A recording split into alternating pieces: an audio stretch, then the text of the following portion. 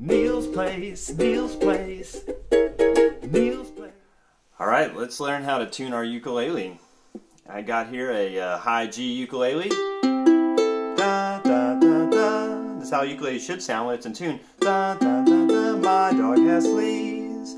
Let's practice tuning, please. Da. Okay, so uh, a lot of you guys, uh, ukuleles sound like this.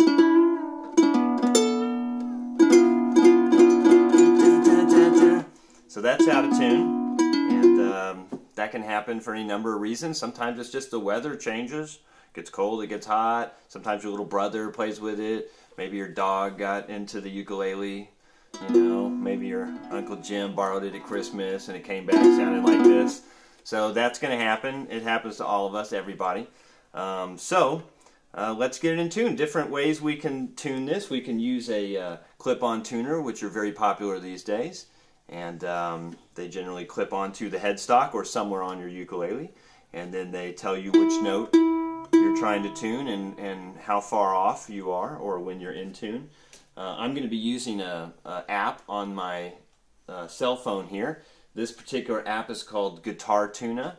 Um, I believe there's a free version right now um, and uh, it's going to help us get this in tune. So We've got G, C, E, A. That's what it's supposed to be. Let's see where we're at. Okay, my, my tuner's telling me that uh, I'm playing an E, but I know it's supposed to be a G. So let's see. A, B, C, D, E, F, G. Okay, I need to go up from the E to the G. Let's see. When you tune your ukulele, uh, continue to pluck the string, maybe once per second so you can hear the changes. I can hear if I'm going down or if I'm going up. And when you turn your tuning machine on this ukulele, it looks like this, but on other ukuleles it might be over here on this side. Uh, make very small movements. So we're going up. Okay, we're getting close to the G. And my tuner says I'm in tune in the green. All right. So let's get the C in tune. Here's a C. My tuner says I'm too high. So I'm going to tune down. And I'm going to go down past the C. And then I'm going to tune it back up. That's how we tune. We always uh, tune down past the note and then slide back up into it. Never tune just down to the note. Go down below it and tune back up. Okay, there we go. I'm in the green. So we got G, C. My tuner says I'm tuning a C right now, but uh, it's supposed to be an E. So A, B, C, D, E. I got to go up like two whole notes.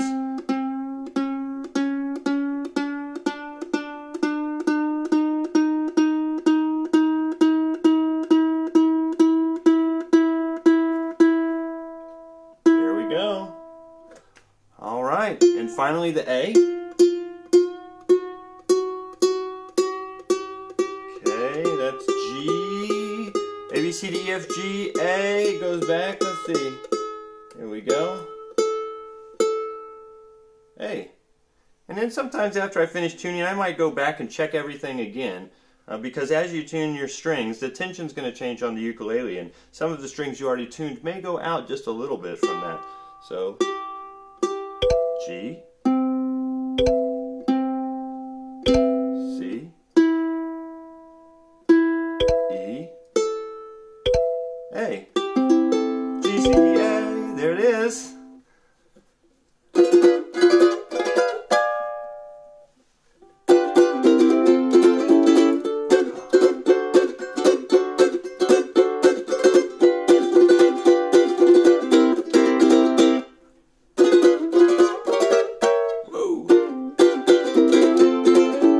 When you tune your ukulele, this is how you're gonna do it. Get your tuner out and try. It takes a while to learn how to do it just right. That's why I'm here to help you out. Gonna teach you. That's a fact. All right, and then make up a song and sing it to all your friends.